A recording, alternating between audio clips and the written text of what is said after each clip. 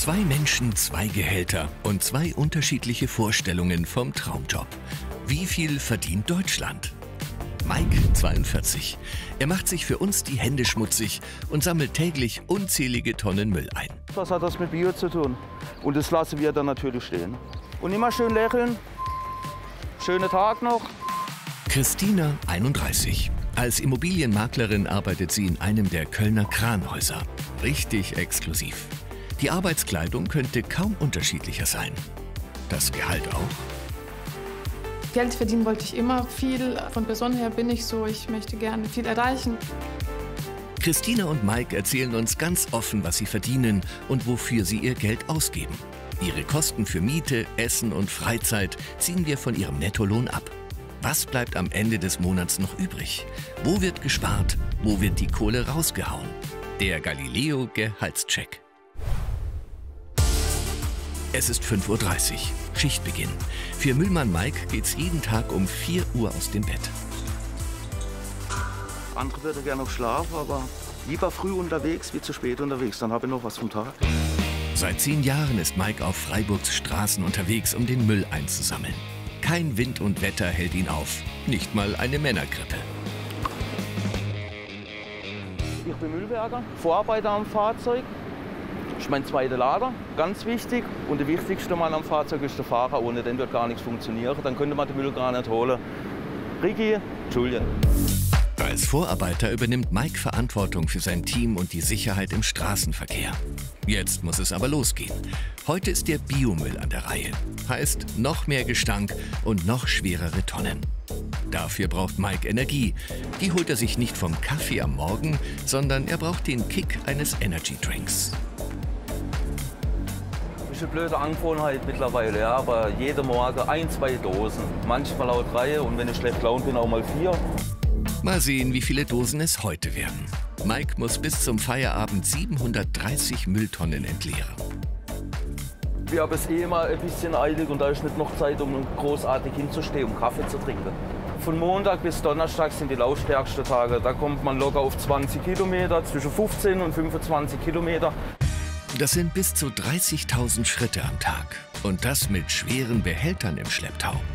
Kaum sind die ersten Tonnen entleert, hat Mike Puls. Da soll Bio drin sein und wenn man mal reinguckt, was da alles Schönes drin ist, was hat das mit Bio zu tun? Und das lassen wir dann natürlich stehen. Dann mache ich ein Foto da davon, dass wir abgesichert sind. Den Müll fremder Leute entsorgen, für viele kaum vorstellbar. Für Mike ein guter und sicherer Job.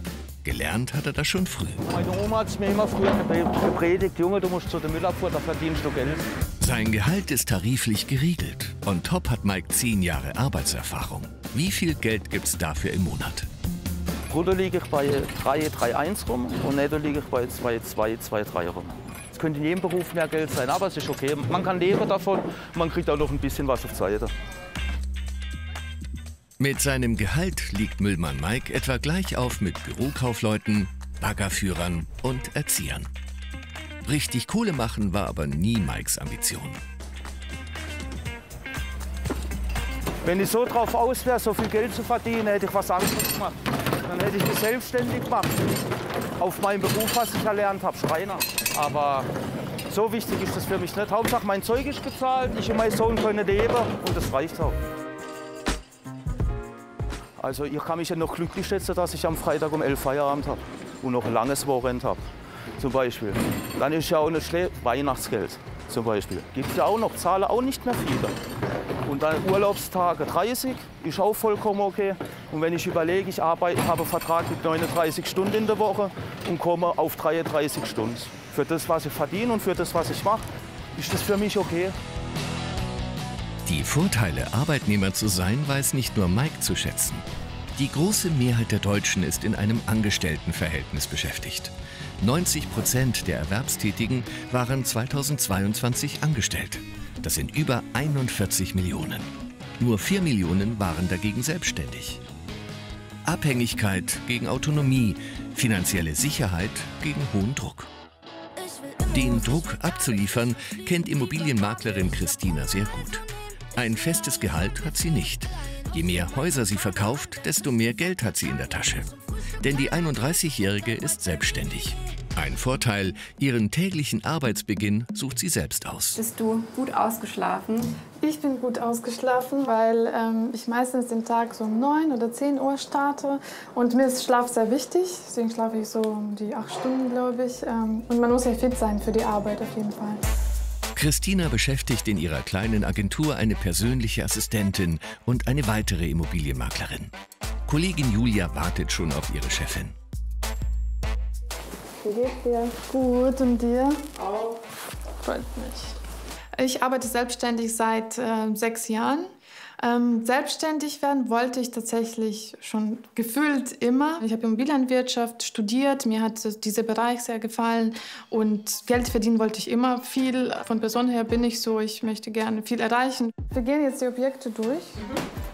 Also vor allem wollte ich wissen, du hast mir heute gesagt, dass ähm, die Wohnung in Ehrenfeld morgen verkauft wird. Ist das richtig? Genau, morgen ist der Notartermin. Um wie viel Uhr? Um 12 Uhr. Von Christinas Arbeitsplatz können die meisten nur träumen. Ihr Büro liegt im vierten Stock des Kölner Kranhauses. Das Prestigeobjekt für die Reichen und Schönen. Eine Penthouse-Wohnung kostet schlappe 4,2 Millionen Euro. Wie kann sich die junge Maklerin hier ein Büro leisten? Natürlich ist der Preis hoch. Das sind ungefähr, glaube 1700 Euro im Monat. Das ist ein kleines Büro, aber hier sind viele Vorteile, dass man einen Empfang hat, dass man äh, Zugang zu Konferenzräumen hat und dann kann man diese ganze Fläche mitnutzen sozusagen. Und dann muss man wirklich erfolgreich und gut verkaufen können, damit man so ein Büro leisten kann. Mit gerade mal 17 Quadratmetern ist das Büro ihrer Agentur nicht groß. Die exklusive Adresse ist es der Maklerin aber wert. Bleibt die Frage, wie bezahlt sie das? Ich verdiene durchschnittlich 5000 Euro im Monat. Klar, es gibt Monate, wo man tatsächlich mehr verdient, so 8.000, 9.000 zum Beispiel. Und es gibt Monate, wo man einfach null verdient. Netto hat Christina damit ca. 3.500 Euro im Monat. Mit ihrem Durchschnittsgehalt zählt Christina zu den Topverdienern in Deutschland. Sie zieht damit gleich auf mit Unternehmensberatern und Ingenieuren. Deutschlands am besten bezahlte Jobs. Einen drauf setzen nur noch Chefärzte. Sie verdienen mehr als doppelt so viel wie der bundesweite Durchschnitt. Schlusslichter beim Thema Gehalt sind Friseure, Köche und Bäckereiverkäufer mit gerade mal 2000 Euro im Monat. Christina, was steht denn jetzt alles an? Heute steht ein Termin, eine Besichtigung an. Für Christina könnte ein fetter Hausverkauf drin sein. Dafür muss sie ihre potenziellen Käufer von der Immobilie überzeugen. Gute Vorbereitung ist wichtig. Wird die junge Maklerin heute Erfolg haben? Zurück in Freiburg läuft Müllmann Mike zu Hochtouren auf. Ja, das ist zu viel, Mann. Es nervt, es nervt. Wieso steht er nicht da vorne rein, wo die Parklücke ist? Meine Fresse, du echt. Heieieiei, Alter. So was nervt, verstehst du? Sieh doch, dass wir da hinten kommen, steht er hier und wartet, bis wir da sind. Radfahrer, Autofahrer. Schlimm. In der Stadt sind Radfahrer und hier auf dem Land sind es mehr Autofahrer und Baustellen.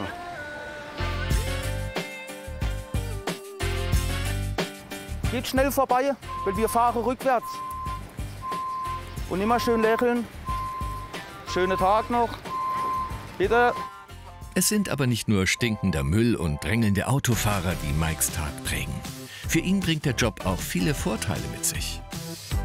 Frische Luft, Bewegung. Das ist das, was mir Spaß macht. Ich bewege mich gern und bei dem Job habe ich halt viel Bewegung.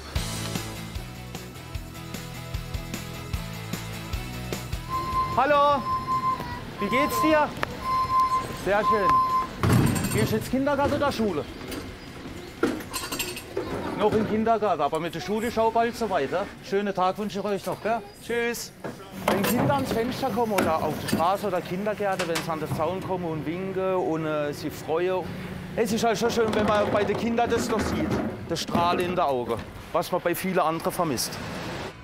Inzwischen haben Mike und Julien schon mehr als die Hälfte der Tonnen entleert. Der Magen knurrt. Eine kurze Pause haben sie sich verdient. Mittwochs gibt's Wurst von der heißen Theke. Am heutigen Freitag reicht ein einfacher Snack. Schinken, Käse, Tomate, Fehler. Einfach was schnell geht. Im Schnitt zahlt Mike 103 Euro im Monat für seine Mittagspause. Wie haushaltet er ansonsten beim Thema Essen? Und wird zu Hause auch mal gekocht? In der Regel am Wochenende.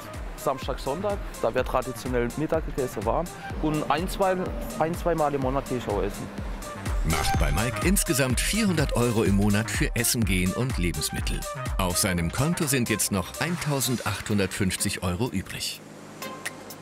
Während Mike nach der Pause im Müllwagen weiterzieht, geht's bei Christina mit dem SUV pünktlich zum Besichtigungstermin. Das Auto ist ein Firmenfahrzeug, das sie über einen Leasingvertrag bezahlt. Private Kosten hat sie damit keine für den Neuwagen. Ich finde das schon wichtig. Also ich habe mein Auto auch gewechselt, glaube im letzten Jahr. Und das ist ein repräsentatives Auto und viele Kunden fahren mit dem Porsche zum Beispiel. Und man, dann hat man auch sogar ein Gesprächsthema. Selbstbewusstes Auftreten, Top-Styling. Das alles gehört für Christina zum Job dazu. Weil wir natürlich auch gutes Erscheinungsbild ähm, oder guten Eindruck auch schaffen wollen.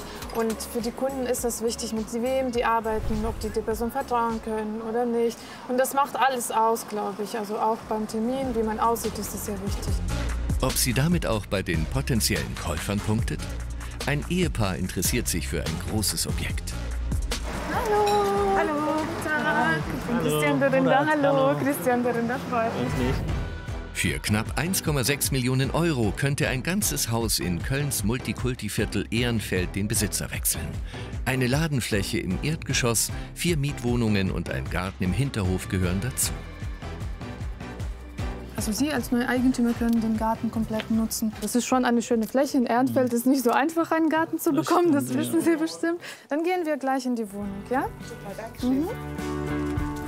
Und so sieht eine der Mietwohnungen von innen aus.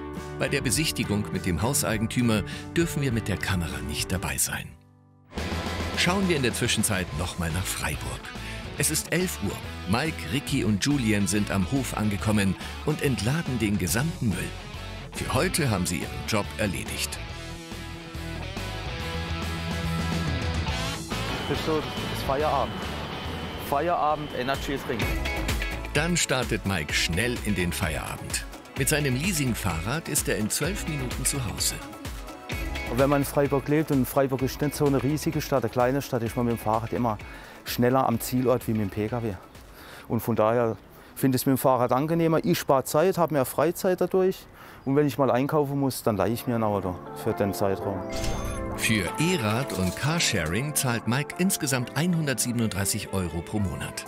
Sein Zuhause ist dem Müllmann heilig. Die Wohnung teilt er mit seinem 17-jährigen Sohn. Mike stehen 250 Euro Kindergeld zu, die sein Konto aufstocken. Macht ein Plus von 2030 Euro. Ziehen wir seine Miete von 840 Euro ab, schrumpft Mikes Geldüberschuss auf knapp 1200 Euro. Seine Wohnung überrascht viele Besucher erstmal. Jeder denkt, das Klischee, dass wir dreckig sind und dass wir nichts in der Birne haben. Das ist Klischee Nummer eins. Und äh, wenn dann jemand zu mir kommt und das sieht und äh, weiß, was ich beruflich mache, aber sieht, wie es dann bei mir zu Hause aussieht, kann man sich das nicht vorstellen. Aber so mag es halt. Zu der cleanen Einrichtung kommt für Mike aber gern noch ein bisschen Farbe ins Spiel. Das ist so mein Hobby zu Hause. Viel LEDs. Hier LEDs, da LEDs, dort überall LEDs. Aber ich kann es ja mal zeigen. So, jetzt kommen wir erstmal zu meinen zwei Lieblingen. Die Beleuchtung ist aber nicht sein einziges Highlight. Mike widmet sich nach Feierabend auch gerne seinem Aquarium. Ich finde sie eine beruhigende Wirkung, wenn man 10, 15 Minuten reinguckt, weil es halt alles so ruhig und so leise ist, wenn man von außen zuschaut. Für Fischfutter gibt er 10 Euro im Monat aus. Auf dem Konto bleiben damit noch 1180 Euro. Mike hat aber nicht nur ein Fable für LEDs und Fische. Auch Fitnesstraining ist ein wichtiger Teil seiner Freizeit. Den Weg ins Studio spart er sich aber lieber.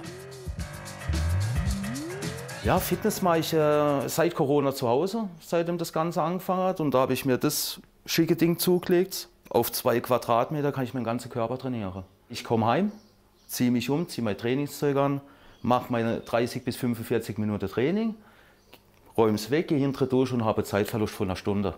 Im Gegensatz zu drei Stunden im Fitnessstudio. Und da muss ich noch jeden Monat einen Beitrag bezahlen, was ich bei mir daheim nicht muss. Das gesparte Geld investiert Mike lieber in seine Sneakersammlung. Das sind meine Lieblinge, die zwei. Schuhe sind für mich wichtiger wie Klamotten, da ich mehr Geld investiere. Aber wie auch beim Einkaufen achte ich auf den Preis. Macht bei Mike im Schnitt minus 200 Euro im Monat für Klamotten. Bleiben immer noch 980 Euro übrig. Zurück in Köln-Ehrenfeld hat Christina die Hausbesichtigung gerade abgeschlossen. Und Christina, was hast du für ein Gefühl? Wie war es? Ich habe auf jeden Fall ein sehr schönes Gefühl. Sie haben auch nach den Unterlagen gefragt. Das ist auch ganz gut. Ähm, das ist ein gutes Zeichen, weil dann sind Sie weiterhin an dem Objekt interessiert. Und ähm, deswegen freue ich mich. Mit diesem Erfolg kann Christina guten Gewissens in den Feierabend. Jetzt ist erstmal eine kleine Stärkung angesagt. Auswärts essen zwischen Job und Freizeit, so ist es die Maklerin gewohnt. Tatsächlich bei mir ist es eher so, dass ich nicht wirklich Lust zum Kochen habe. Das muss ich zugeben. Und ähm, ich habe nicht wirklich Zeit. Aber Zeit ist immer so eine Sache von Prioritäten. Deswegen, ich denke, ich mag es einfach nicht. Und ich bevorzuge draußen zu essen oder halt Essen bestellen. Und dann ist es da. Und dann kann ich vielleicht noch ein Exposé schreiben oder noch einen Termin vorbereiten. Dann habe ich Zeit einfach für Arbeit. Bestellen und ins Restaurant gehen, das spart zwar kein Geld, aber Zeit. Pro Monat kostet Christina ihr Essen rund 1000 Euro. Auch bei der Miete macht Christina kein Schnäppchen. Als Immobilienmaklerin hat sie hohe Ansprüche an ihr Zuhause. Ich lege sehr viel Wert auf Penthäuser. Ich mag, wenn ich auf wirklich ganz oben bin und den Himmel sehen kann. Mit dem Aufzug direkt in die Wohnung. Stylisch eingerichtet wie auf einem Interior-Blog. Glanz und Glamour im Job und zu Hause. Das ist ihr auch den Mietpreis wert. Für 55 Quadratmeter inklusive Garage zahlt Christina 1580 Euro im Monat. Kosten für Miete, Styling und Essen haben wir jetzt abgezogen. Damit schrumpft Christinas Konto auf 620 Euro. Jetzt geht's direkt weiter zu ihrem ganz besonderen Hobby: Heel Dance. Tanzen auf Stöckelschuhen.